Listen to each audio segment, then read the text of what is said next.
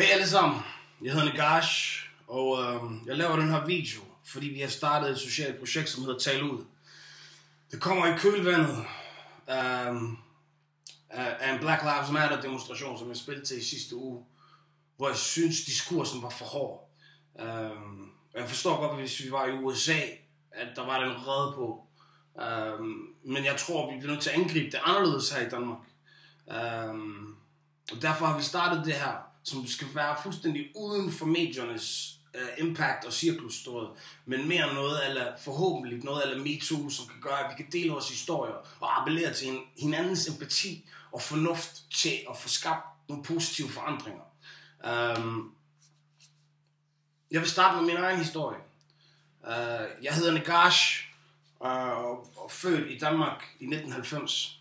Um, øhm, og jeg har, vil rigtig gerne i tale sætte først og fremmest. Hvor mange positive ting, der er ved det danske samfund. Du, øh, og det synes jeg er vigtigt. Øh, fordi vi har det meget bedre end mange andre steder. Um, og samtidig også at fokusere på de udfordringer, der, der ligesom er foran os, og hvorfor folk er så sure. Hele vejen igennem min barndom har jeg oplevet enormt meget racisme.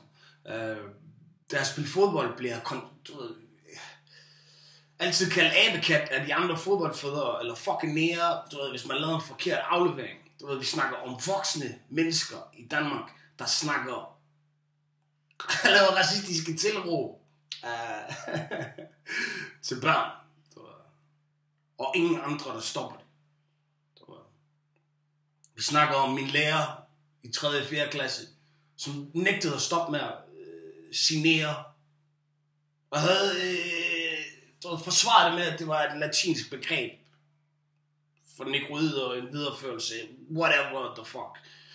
Det eneste, jeg vidste på det tidspunkt, det var, at jeg blev kaldt fucking nære så mange gange, at det ord, det havde en enorm negativ betydning for mig, og gjorde bare, at jeg følte mig lille. Og min mor blev nødt til at ringe til hende, og blive rigtig vred på hende, og sige, du sover knæk. Du ved. Um, før hun ville stoppe. Og det er sådan nogle, du det synes jeg er vanvittigt. Jeg synes, det er vanvittigt, at vi kalder hinanden ting, som sover hinanden. Du ved, jeg forstår ikke, at vi ikke har nok perspektiv til at, at kigge rundt og, og, og bare sådan at mærke. Du ved, jeg tænker ikke, der er nogen, der er så dumme. Det kan godt være, der er det, men det tænker jeg ikke i mit univers. Udover det, så synes jeg, at nattelivsproblematikken er, er helt vildt fucked. Uh, du ved, vi, vi tager unge mænd og nægter dem adgang, du ved, og siger til dem, det er på grund af deres sko, du ved. Når vi godt ved, at det er fordi, at der er en kvote på, hvor mange mennesker, mørke mennesker, der må komme ind på klubberne. Um, og det er forfærdeligt. Og jeg vil sige til alle jer udlændinge, som står og er dørmænd, I forræder. Det kan I ikke, I kan ikke tillade det.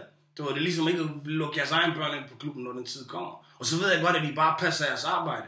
Men samtidig, så er der også masser af arbejde. Du ved. Når man ikke lukker unge mænd ind på klubben i 20 års alderen, byen er alting, så bliver de radikaliseret, de bliver isoleret, og de kriminaliserer dem også et eller andet sted. Hvad fanden skal de ellers gøre? Du ved, det er jo det, man gør, når man er i den alder.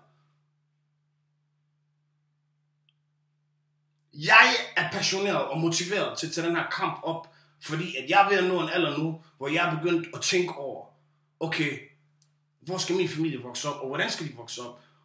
Og jeg nægter at bo i, i et land, hvor jeg ikke kan sende mit barn til fodboldtræning, uden at være bekymret for, om han bliver kaldt en fucking nære, fordi han laver en forkert aflevering.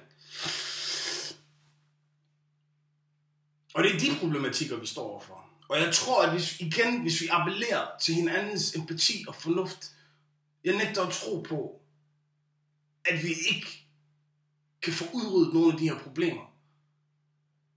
Fordi det er den anseelse, jeg har Danmark i. Jeg håber, I alle sammen vil støtte os ved at tale ud og bruge hashtags, og lave en video ligesom det her. Del jeres erfaringer, del jeres oplevelser. Og husk at I tale sætte det gode også. Så det ikke bliver en haddebat. Men at vi tværtimod prøver at passe på hinanden, og prøver at passe på kommende generationer, og prøver på at forbedre os. Det var alt for mig for nu. Det er crazy tider. Jeg håber, I passer på jer selv og på jeres kroppe og på jeres sjæl. Jeg ønsker alt godt derude. Ses.